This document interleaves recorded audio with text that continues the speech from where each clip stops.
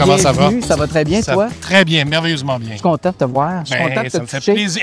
Je suis vrai. Oui, t'es un vrai, parce que oui. pour moi, t'es un, t'es un peu, pas un peu, mais t'es un monument pour moi Oh là là là là. Parce que t'as fait beaucoup de choses en théâtre. J'ai fait beaucoup de choses en théâtre depuis 1981 où je suis sorti de l'École nationale de théâtre. Je te dirais une moyenne d'à peu près deux, trois shows par année jusqu'en 2016. À peu près là, à peu près, en gros, comme ça. Plus le doublage, plus la surimpression vocale, plus la télévision. Donc, j'en ai fait, j'en ai fait effectivement beaucoup. J'étais pitché à gauche et à droite, mais j'ai adoré tout cette, toute cette période-là. Mais il a fallu que j'en enlève un peu, que Mais j'écrème. toi, j'ai lu, j'ai lu à un moment donné, t'as dit, ça me tente moins de jouer à la télé. Oui, oui, oui. J'ai trouvé ça, écoute, j'ai ben, j'ai lu tout le reportage, Oui. mais je trouvais ça particulier parce que toi, ton père était issu du, du jeu. Mon ta père mère, était comédien, ma mère Amulette Garneau, mon père Jacques Zouvi, ma mère était comédienne aussi. Oui. Euh, J'avais du côté de ma mère, euh, je l'ai vu au théâtre euh, québécois, je l'ai vu à la télévision dans Cré Basile avec Olivier Guimond, Denis Drouin, tout ça.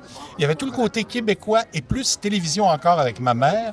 Du côté de mon père, il y avait le théâtre classique, parce que mon père était français. Donc, il y avait Fédot, La Biche, Courteline, Molière, Guitry, tout ça.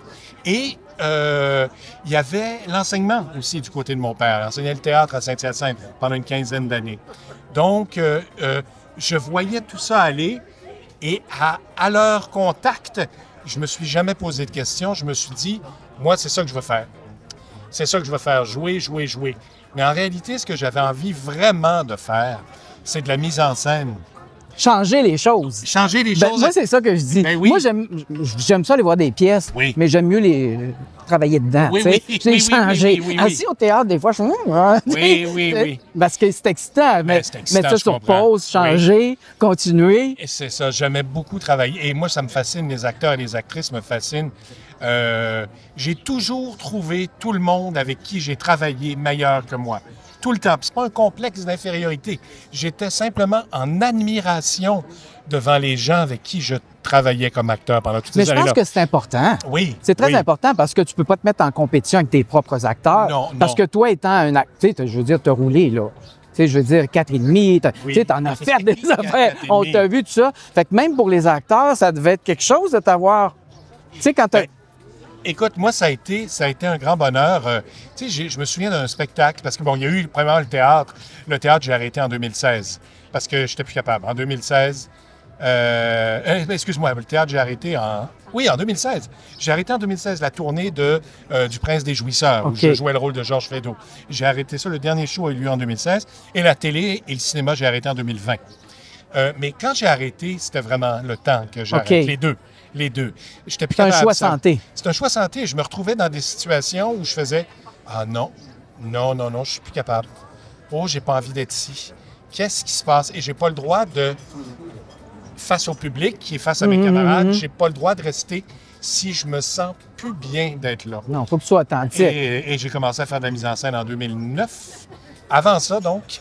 Et puis, euh, c'est pas, je fais pas de la mise en scène en attendant ou parce que je suis plus acteur, il faut gagner T'es sa dans vie. tes souliers. J'aime ça, c'est ce que T'es vraiment dans tes faire. souliers. Ben oui, ben oui, oui. ben oui. Puis, t'aimes- puis c'est- tu restes dans ton milieu. Je reste dans mon milieu. Tu es encore aimé Je et tu aimes théâtre. encore. Ben oui, Et mais voilà. je quitte pas le théâtre. Le théâtre, je suis toujours au théâtre.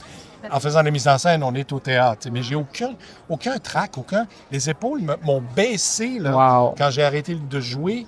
Parce que tu surveilles quand tu joues, là, Mm-hmm. que ce soit au théâtre ou que ce soit à la télévision. En tout cas, moi, j'étais nerveux comme ça la nuit d'avant. Je sais, je vais-tu être capable? Je vais-tu me souvenir de mon texte? La remise en question constante. continuel. Wow, wow, C'est personnel. Il y en a peut-être d'autres qui sont pas comme ça, mais moi, j'étais comme ça. Et je m'en suis rendu compte en arrêtant surtout.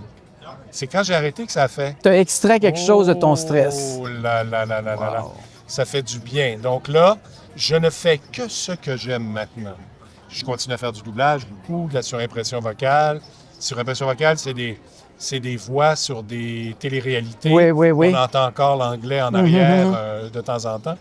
Alors, c'est ça. Je fais ça. Je fais de l'enseignement. Donc, du côté de mon père qui est là, je fais de l'enseignement, je fais du coaching et je fais de la mise en Si scène. tu retrouves des actrices, ben, tu te retrouves un peu de ta mère aussi. Oui, oui. Ta aussi. mère qui était, Oui. elle, un monument qu'on a tous aimé au Québec. Oui, là, oui, oui, absolument, absolument. C'était une grande actrice et elle avait parlé d'une ane- une anecdote, je crois que tu vas apprécier. elle avait travaillé avec évidemment Olivier Guimont. Et Olivier Guimont, dans le temps de Cré-Basé, Olivier Guimont, c'était une grande idole à ma mère. Ma mère avait de l'admiration sans borne pour Olivier Guimont. Et Olivier lui avait dit que lui, il se trouvait une douleur. Il s'inventait une douleur Ah bon? sur lui pour jouer. Il, il faisait ça, lui. Et ma mère, ensuite, est allée étudier à New York. euh, Avant, plutôt, est allée étudier à New York. On lui avait déjà parlé de ça. Ça lui rappelait quelque chose. Et quand j'ai eu euh, mon, essai, mon essayage de costume pour 4 et demi, on m'a dit que je devais jouer un vétérinaire toujours en colère. Et tu sais, on se demande toujours comment je vais faire pour réinventer cette colère-là. Il est en maudit, puis on ne sait jamais pourquoi et contre qui. Il n'y a aucune raison. Comment je vais faire pour être véritablement en maudit, puis qu'on ne sache pas pourquoi? Alors, je m'en vais à un essayage de costume. On m'essaye des souliers trop petits. Oh, puis, je fais, puis je fais, oh non, ils sont trop petits. Ah, la, la dame dit, je vais aller vous en trouver d'autres. Elle s'en va avec les souliers. Je fais, non, non, non, non, non. Revenez donc, revenez donc, revenez donc. Voilà l'inconfort du personnage. Et pendant sept ans, j'ai joué avec des souliers trop petits. Alors, j'avais juste avant chaque scène à focuser sur ça. Et ça me fait, va nettoyer les cages là-bas. Qu'est-ce que tu fais là? Toi, va dans là-bas. Ah oui! Un petit rappel. Exactement. Te mettre une roche dedans à un moment Oui, donné oui, aussi. oui, oui, oui. Et j'ai gardé, j'ai volé les souliers à Radio-Canada. Je C'est veux juste vrai? le dire. Oui, je les ai gardés parce que c'est un souvenir pour moi. C'est Constantin sont dans les souliers. Aïe, aïe, c'est Oui, bon. oui. Écoute, c'est tout le temps qu'on a. Ben, ça m'a fait plaisir. pour la cause. Ben, c'est un grand Et plaisir puis, d'être on là va pour se la cause. recroiser tantôt. Parfait, merci. Salut Alain Zouy. Bye bye.